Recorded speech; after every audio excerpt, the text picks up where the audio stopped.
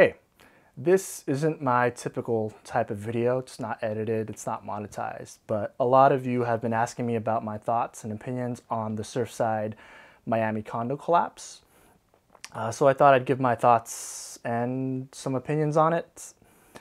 And I usually don't like to talk about these types of events, but it might be helpful, so I'll go into it and maybe, uh, yeah, why it collapsed. You know, my answer is pretty boring, but uh, I'll give it anyways later on. And, you know, my first thought is first and foremost, this is a tragedy first uh, first and foremost. It's, yeah, building collapse, but uh, you can't forget that a lot of people died and uh, are, are missing in this, uh, this tragedy. So, you know, don't forget that.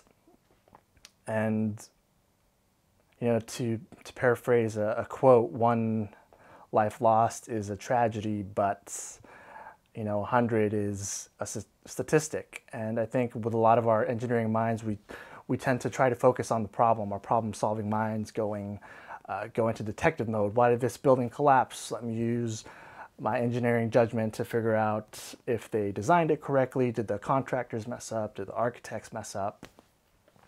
Uh, so it's really easy to get into that and get into the speculation mode, which uh, there's nothing wrong with that. I think a lot of people have uh, have done that, and there's nothing wrong with that. But it's just you know still remember that it's tragedy first, and it's to me at least, it's still a, a sensitive subject. That's why I don't like talking about it too much. It kind of reminds me of a, a story I heard that when I went to a structural engineering convention, some of the first responders that went to these types of tragedies. You know, it's easy to see it from our television screen, but when you're actually on the site uh, of uh, of those types of events, uh, you know, one of the engineers was like, "Oh, this is this is cool. Look at how this building collapsed. Did it collapse this way? Did it collapse uh, that way?" And you could see them all excited, but to them, it was a a building that collapsed and kind of doing some forensic engineering. Uh, but right next to them was the family that just lost their home and you know lost their family in that in that rubble. And you know it's, it's easy to forget as engineers. We're we have a lot to do with the numbers but you know there's there's people there too uh, especially that were directly related to that event. Uh, so that's why uh, for me i don't like looking at that footage uh, so yeah that's kind of why i've kind of been hesitant about it and you know trying not to speculate in terms of what i think happened uh, all of us, we don't know what happened. It's we weren't on site. We're not the ones doing the investigation on there. It's there's a lot of speculative videos out there. There's a lot of good theories actually, but you know, it's they're all theories at this point. There's no official report yet, but at least you know m- one of my thoughts is for a building that's been standing uh, 40 plus years. I, it couldn't have been just one thing. I, I think it's a lot of things had to happen. Uh, you know, the perfect storm.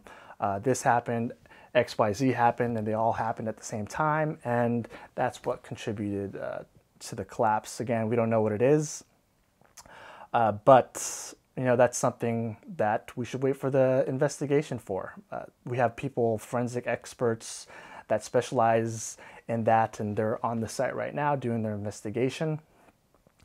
Uh, so at least for me, that's, that's you know that's my boring answer. Wait for the official investigation. And uh, my last thought is it, I think what we can learn from this event is, that, first of all, it's a reminder of the importance of uh, civil structural engineering in society. It's we're, I believe we're we're kind of like the defensive linemen. If you're going into American football terms, you know they don't get a lot of credit but if something goes wrong, they're the ones to blame. So it's, you know, it's, if we do our jobs right, uh, no one's going to notice. But if we do our jobs wrong, you know, the quarterback gets sacked. Oh, the lineman let them through. That's kind of what uh, this this type of work is. Uh, a lot of us don't like to to get in the spotlight, but it, it really does remind us of how important you know our profession is, our, our craft is. It's you know human lives, and I think it's a reminder for all of us to.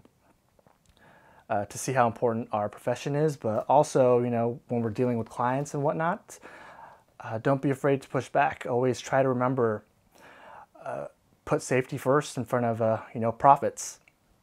I think it's a good exercise to, whenever you're making some type of engineering decision where maybe owners want you to, you know, reduce some of the steel or some of the structural material, you know, always ask yourself, like, if you put a family member or a loved one in that building, would you be fine with it? And